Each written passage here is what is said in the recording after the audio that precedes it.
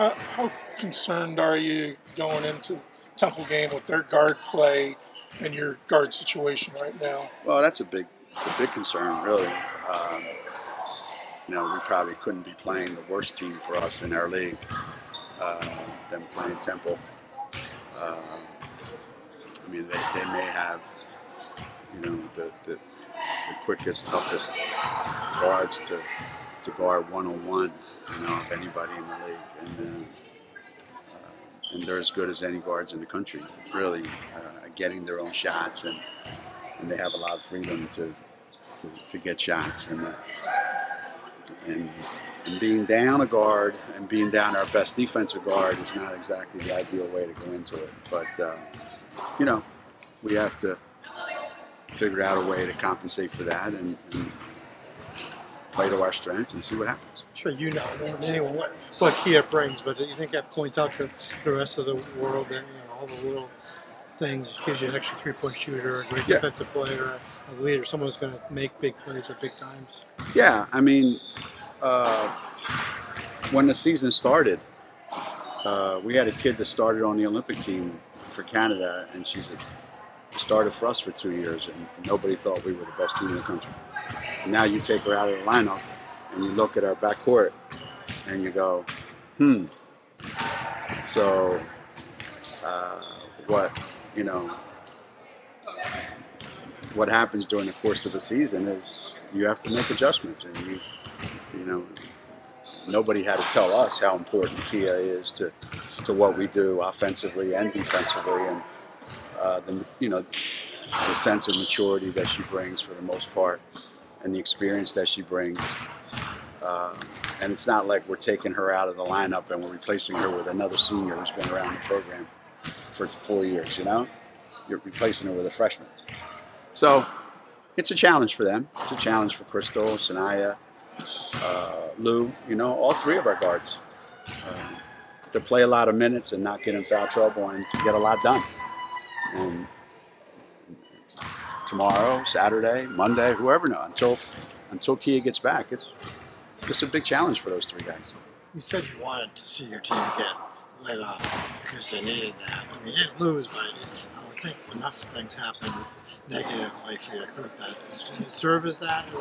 Have you seen a difference? Uh, they have think, realized that you know that things can get better than they are right now. Um, you know, every single game that we play, um, there's things happen in the course of a game that you'll go back and say, and when you show them on the film, like we got some things that we've got to address. It's just that not not every time are they reflected in the scoreboard, you know, uh, because usually we shoot enough, we shoot the ball well enough usually to to mask, you know, whatever deficiencies are there. Um, and that's been the case since the Florida State game. You know, we generally shot the ball well enough, enough times to, to hide whatever, you know, whatever issues that we have. And you know, Saturday, you know, those same things popped up, but we didn't shoot the ball well enough. You know, so uh, I think Tulane scored like four more points than they did when we played them at, at Gampel. The only problem is we scored 40 less points than we scored at Gampel. So, um, you know, our defense was just as good. You know, we did just as many good things. But when you don't make shots, every little thing, you know, starts to show its head, and, and you got to, you know, it gives you things that you got to you got to address. Um, and that's that's again, that's been the case for all 26 games that we played. The things that you have to address, just just cutting better off screens, setting better screens. No, making more shots. I mean, if you make more shots, then all the things that happen, you wouldn't be asking me these questions. So we have four guys go one for five. So that's four for 20. So if they go 12 for 20, then nobody would be asking me any questions. They would just go, Aren't you tired of blowing everybody out? So because none of the shots went in, now we have to sit here and go, Okay, well, what do we have to fix? That's the danger when you play the way we play and you win as many games as we win. That, you know, when the scoreboard says you almost lost, that must mean there's a lot of things you got to address. And if you're not careful, you go in and try to reinvent what you're doing, and you, you end up screwing everything up. You know, the, I've always said you have to you have to look at your offense and you have to look at and say what kind of what kind of shots are we getting? If we're getting pretty good shots and they're not going in, then you know there's nothing you can do about that. You just got to step up and make them. And then defensively, you got to look at your team and say what kind of shots are we giving up? Well, you know, I said all along this is not a great defensive team because we don't have, you know, the ability to block as many shots. We don't get as many steals. You know, we can't afford the foul. Obviously, we can't be as aggressive. We can't press as much as we like. So we're not, you know, we're not the same kind of defensive team. And you know, it's it's no different than November. Nothing's changed. Today, Okay, at Lou, she If was anybody needs Crystal, she has an exam, so she needs to study. So guys, But um, watching Lou today. She was getting getting in the lane. She was hitting some ups. She who's that? Lou. Lou? Is, is that the next thing you want to see from her? And that if, if, if you have games like she's been having, that you can't just stay on the three point line. You, there's a, you can you're talented enough that you can still score even if you if you aren't making shots from the perimeter. Well, you know, a really good player, a really good shooter, is only as good as the people around him. So, if you have the ability to to put three other people on the perimeter, or two other anyway, where they have to be concerned with those players. Now all of a sudden you're looking at a kid being guarded one on one by everybody, and you can deal. You know, you can figure out a million different ways to get new shots when there's nobody else making any shots on the perimeter. Now Lou's being guarded by three guys. So how do we help Lou? Well, the other guy's got to make some shots. Now, did she get as many good looks as I wanted her to? No, no. You know, Tulane just took their chances. You know, it's kind of like the same thing we do with when we play some teams. You let that kid and that kid shoot as much as they want, and guard.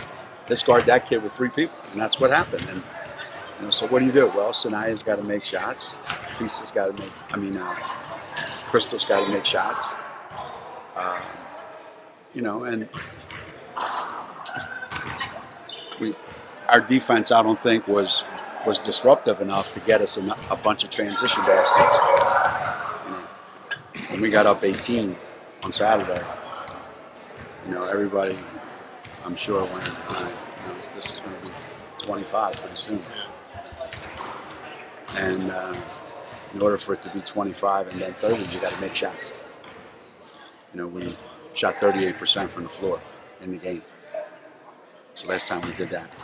So you have to be able to win games when you don't make shots. And we did. Or get or get highly questionable fourth fouls called against you. I I don't want to. What are you going to do? What are you going to do? You were saying that some of the guys look like they even want to take shots, which, you know. Yeah, yeah, we have guys. Yeah, we have guys on our team that they're like too unselfish. Right. Well, you know, I don't want to take the shot because if it doesn't go in, I'm hurting our team. Like you got to explain to them, if you don't take the shot, you're hurting our team. So, you know, it's. I don't that's know. kind of uncharacteristic. though. They they have obviously all season yeah, that's what I mean. it. You know. Yeah. So,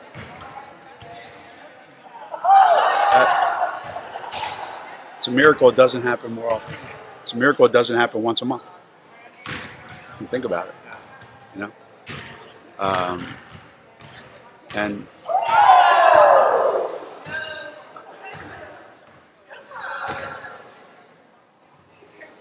we, we, we live in a we live in a we live in a constant dilemma, don't we?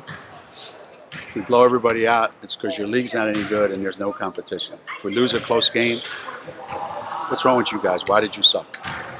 So we live in a world where you can't get caught up in either. You know? And that's that. when you've won 11 national championships, six of them last eight, where does winning the league regular season title rank? I mean, everything ranks. Everything matters. You know, everything matters. Um, because it's the same as if you're playing in a tournament uh, in St. Thomas. So, well, where does that rank? Well, we're playing in this tournament, so right now it's the most important thing in the world. Is it as big as winning a national championship? No, but we're not. We're not there yet. We're in this tournament, so we're in this conference race. So, the most important thing in front of you is winning the conference, and then after that, it's winning the the tournament, the, the conference tournament, and then after that, you get to worry about the other thing. You know, so you can't you can't ever look at it as anything less than that. Can't. Is it harder than it was 20 years ago to keep that? Well, not really. I mean, because you, you, you figure you, oh, you know, we talked about Temple's trying to win the conference as well. So if they get a W tomorrow and you get another loss, then all of a sudden, what? It's a tie, huh? Right. So, you know, all of a sudden, you know, tomorrow's a pretty important game, and that's good. You know, that's good. You know, I mean, the more important games you play, the better, right? I think. They ranked opponent. Another ranked opponent. How many have we played so far? Eight, nine. Eight, nine. They're good, man.